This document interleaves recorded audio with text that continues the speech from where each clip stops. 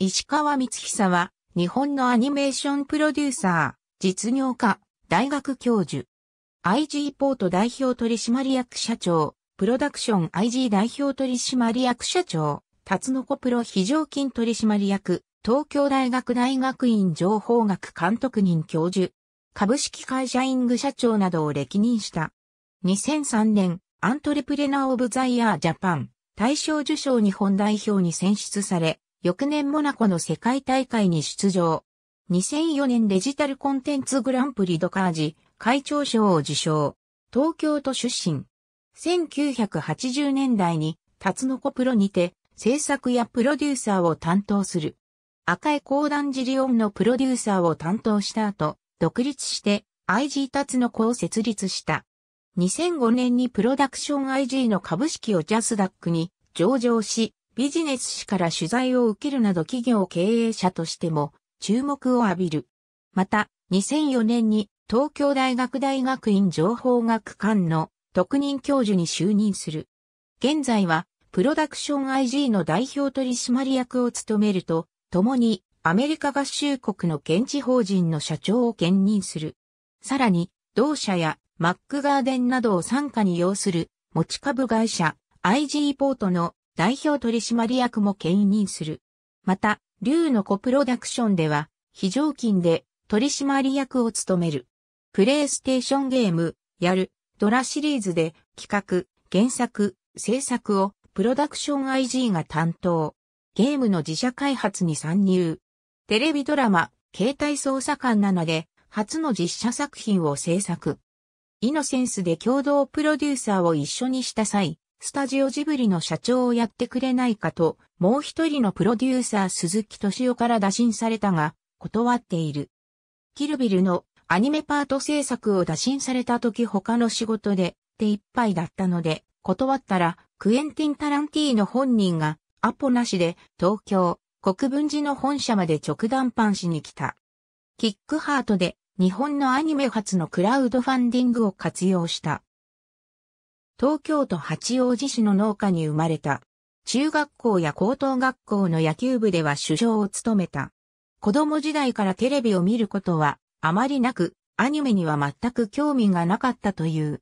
明星大学在学中に文楽を見て感動し、同じ人形芝居ということで、八王子市にある古典芸能の人形劇団、八王子社人形に属して人形作りや国威の修行を積む。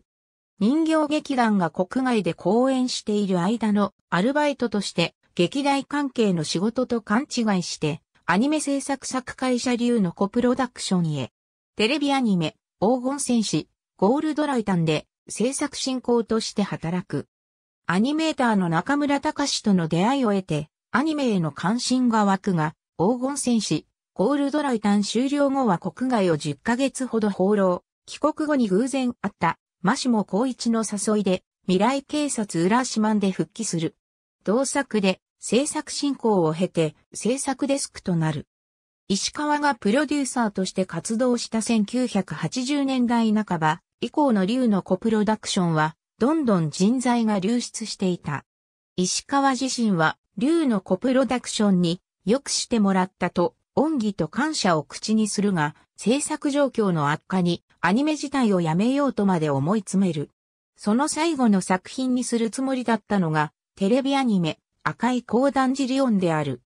当初は、竜のコプロダクション社内でも石川に任せることに反対論があったというが、これを石川は成功させ、赤い高段ジリオン制作のために集まったスタッフのために独立を決意。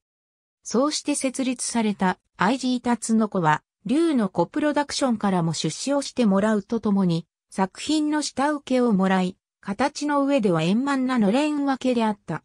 1993年、IG タツノコの社名をプロダクション IG に変更する。その後、版権管理事業を担当するイングと合併させる。